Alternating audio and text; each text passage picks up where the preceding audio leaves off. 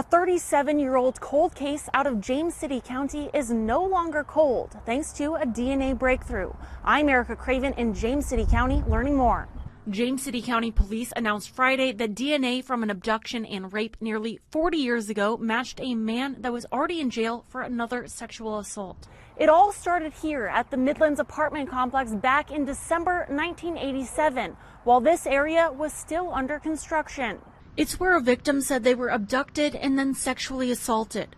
Police have been looking for the person who did it ever since, saying they exhausted all leads. That is, until a new detective took on the case in 2019, sending the DNA off to the Department of Forensic Services.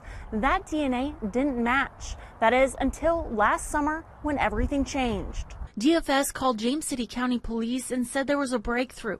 The DNA from the crime matched to Richard Lee Gibson, the man police now believe committed the crime. Police didn't have to go far to find him.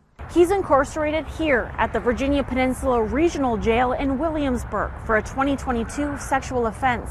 In that case, police say he assaulted a woman and later fled Williamsburg by sailboat.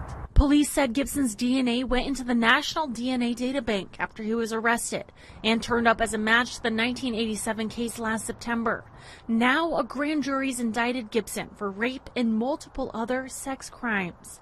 He'll be in court April 1st. He's already serving time for the 2022 case. I asked police for an interview, but they said they weren't available. They said, however, that they hope this arrest brings solace to the victim and their family, and they believe that there may be other victims. So if you have any information, they ask you to come forward.